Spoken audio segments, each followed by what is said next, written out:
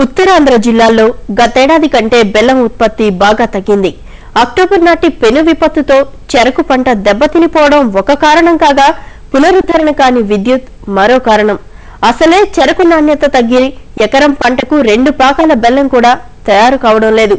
మరోవైపు three phase current లేక బెల్లం గానుగా ముందుకు సాగడం లేదు.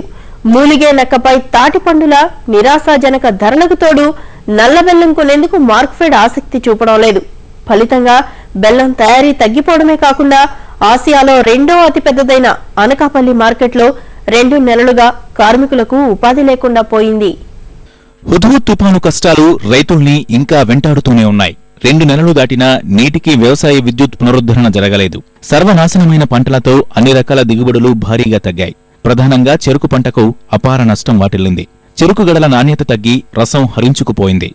చక్కెర మిల్లులకు చెరుకు తరలించలేని పరిస్థితుల్లో బెల్లం గానుగాడదామంటే కనీస స్థాయిలోనూ ఉత్పత్తి రావడం లేదు. ఈ కష్టాలకు తోడు విద్యుత్ లేక డీజిల్ ఇంజిన్లతో క్రషింగ్ చేయాల్సి వస్తోంది. ఫలితంగా రైతులు తీవ్రంగా నష్టపోతున్నారు. ఈ ముద్దు తుఫాను వల్ల మా చెరుకులన్నీ శుభ్రంగా పంటలన్నీ చాలా బీభత్సం అయిపోయింది ఈ పంట కూర తీసుకున్నామంటే ఆర్ఎస్ఎస్ మమ్మల్ని చాలా బీభత్సంగా ఇబ్బంది పెడుతున్నారండి. వాళ్ళు చూస్తే కరెంట్ ఇవ్వట్లేదండి. ఇప్పుడు దీపావళి పోయి నాలుగు యాదం పడుతున్నామండి. డీజిల్ డీజిల్ మీద కరెంట్ అంటే కసరలు ఆడుకోవాల్సి వస్తుందండి. డీజిల్ మూడు వందలు అయితే నేను పక్కన సరిపోవట్లేదండి. ఈ కరెంట్ మరి ఇలా వేయలో ఉంటే రైతుకి రైతుకి మిగిలినకి ఏమీ లేదండి. ఇప్పటికీ కూడా మాకు విద్యుత్ రాలేదు. ఇప్పుడు కూడా మేము ఎంతో ఇదిపడి ఇగో ఇంజిన్ మీద మేము చెరుకు బెల్లం తయారు చేసుకోవడం చాలా ఇబ్బంది అవుతుంది. ఇక్కడ మాకు బెల్లం తయారు చేయడానికే పదిహేను వందల రూపాయలు అయిపోతుంది ఒక పాకం తయారు చేయడానికి. మాకు మార్కెట్లో వెళ్తే దానికి రెండు వేల రూపాయలు వస్తున్నాయి. పెను విపత్తు ప్రభావానికి పంటలు దెబ్బతినడమే కాకుండా బెల్లం గానుగాడే షెడ్లు నేలకూలాయి. ధ్వంసమైన బెల్లం పాకలు మోటార్ షెడ్లకు అసలు పరిహారం ఇస్తారన్న దానిపై స్పష్టత లేదు. ఇటు పంట నష్టంతో బెల్లం పాకలు తగ్గిపోయి అటు సర్కారు సాయం లేక రైతులు అనేక ఇబ్బందులు పడుతున్నారు. ఈ పరిణామాలన్నీ బెల్లం మార్కెట్ పైన తీవ్ర ప్రభావం చూపుతున్నాయి.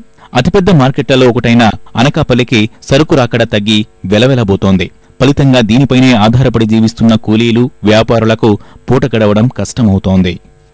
ఈ పాటికి ఎంతో బెల్లం రావాల్సి ఉంది. ఈ రోజు మార్కెట్కి బెల్లం రాక ఇక్కడ కార్మికులు చాలా తిండికి కూడా ఇబ్బందులు పరిచి పడి ఉంది. ఇలాగే జూబిలంచి పది రూపాయలు ఇరవై రూపాయలు ఇంటికాడ నుంచి పట్టుకొచ్చినాం తప్ప మార్కెట్లో ఏ ఆదాయం లేదు. ఈ తుఫానికి వచ్చి శుభ్రంగా అన్ని పోయాయి. అన్ని పోయిన తర్వాత తోటలు అన్ని పడిపోయాయి. బెల్లం కూడా పెద్దగా రావట్లేదు. చాలా ఇబ్బందులు పడిపోతున్నాం.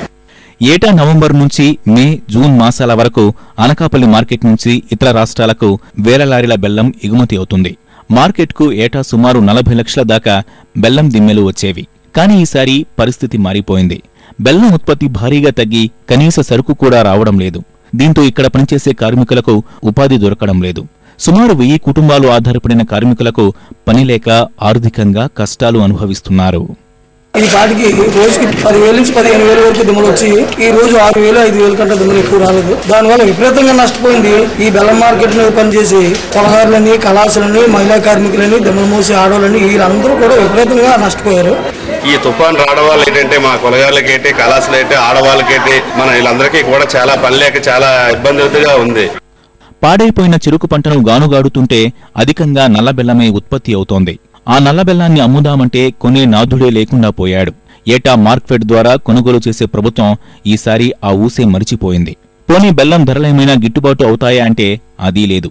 రెండు విధాలుగా రైతులు కష్టనష్టాలకు గురవుతున్నారు.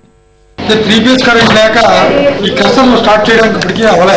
రెండోది ప్రభుత్వం మార్కెట్ ద్వారా నల్ల రెండు వందల లక్షల రూపాయలు పది కేజీలు గత రెండు సంవత్సరాల కొనదు ఈ సంవత్సరంకి ఇప్పుడు స్టార్ట్ చేయలేదు. ఈ రోజు ఉన్న నష్టపరిహారాన్ని రికార్డ్ చేయడం కూడా ప్రభుత్వం దానికి ఏమాత్రమైనటువంటి సూత్రబద్ధం లేకుండా ఓ ఎకరా భూమి ఉన్నటువంటి పట్టాదారు బస్సులు ఎకరా ఉంటే దానికి కాంపన్సేషన్ అరవై శాతం అని ముప్పై శాతం అని ఇరవై శాతం అని రకరకాలైనటువంటి పేర్లు పెట్టి ఆ ఎంకలు కూడా కరెక్ట్ లేని పరిస్థితి ఉంది.